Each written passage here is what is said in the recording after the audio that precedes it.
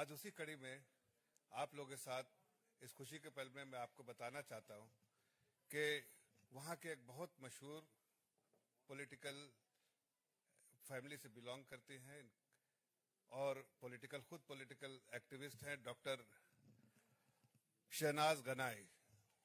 आज हमारे पार्टी में ज्वाइन हो रही हैं। उनका पॉलिटिकल करियर जो है वो पिंच पंचाल एरिया है, वहाँ से जो एक्टिव रही हैं, बराबर। आप लोग को जानते हैं, बहुत एक्टिव हैं और उन्होंने बड़ी अच्छी भूमिका वहाँ निभाई है।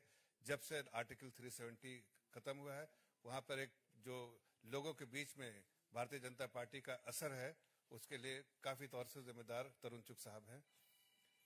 हमारे साथ आप जो डॉक्टर जितेंद्र सिंह जी बैठे हैं, सभी को मालूम है वो उधम नगर से एमपी उधम उधमपुर से एमपी भी हैं।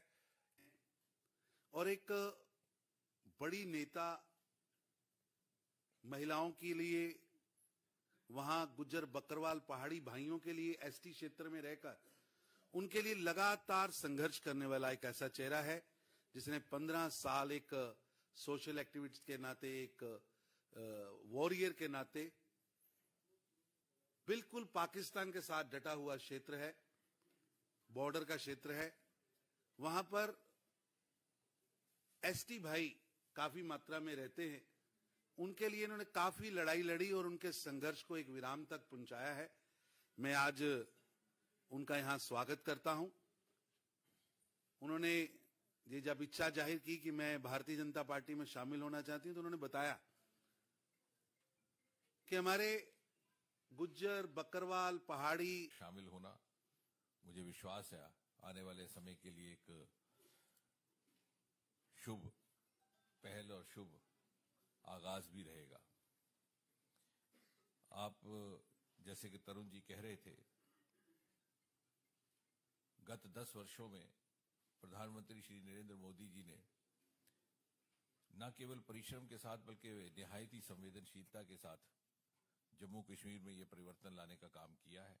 यदि आप स्मरण करें तो प्रधानमंत्री बनने के तुरंत बाद वहाँ एक बहुत बड़ी बाढ़ आई थी और मोदी जी ने अपनी पहली दीपावली प्रधानमंत्री के रूप में कहीं और ना रह करके कश्मीर घाटी में गुजारने का निर्णय लिया था।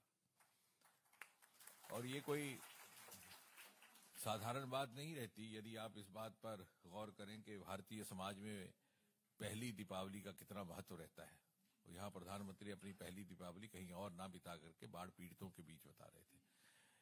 यानी उनके मन में उस प्रकार की निष्ठा भी थी, पीड़ा भी थी, दर्द भी था, संवेदनशीलता भी थी। और फिर एक के बाद एक सबसे बड़ा पैकेज भी मोदी जी के द्वारा ही जम्मू कश्मीर को दिया गया। बार बार वहाँ का प्रवास हुआ। और सबसे अद्भुत कार्य अनुच्छेद 370 को हटाने का जोड़ा था। लेकिन यदि लोकतंत्र का की परिभाषा यह है कि कोई भी बच्चा किसी भी घर में जन्म लेता है माँ को ये स्वप्न देखने का साहस हो के बड़ा होकर के वो बड़े से बड़े पद पर आसीन हो सकता है। यदि लोकतंत्र की यही परिभाषा है तो उसका एहसास पहली बार जम्मू कश्मीर में अब होने लगा। और वो लोग जो सेल्फ रूल और अटॉनमी की बात करते थे, उन्होंने वहाँ पर ग्रास रूट पर जिला परिषदें नहीं बनने दी, पंचायतें नहीं बनने दी। सेल्फ रूल का अभिप्राय तो होना चाहिए कि धरती से जन्मा हुआ रूल। लेकिन जो धरती से ही ना जन्मा हो, वो कैसा लोकतंत्र? और पहली बार इस लोकतंत्र के उदय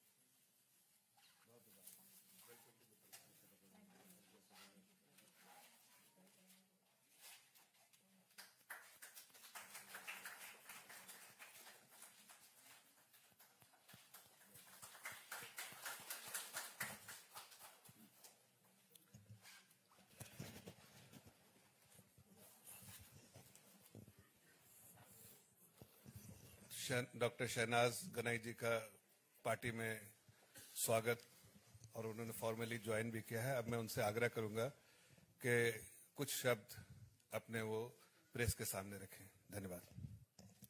आज मुझे भारतीय जनता पार्टी के परिवार में शामिल होने का मौका मिला।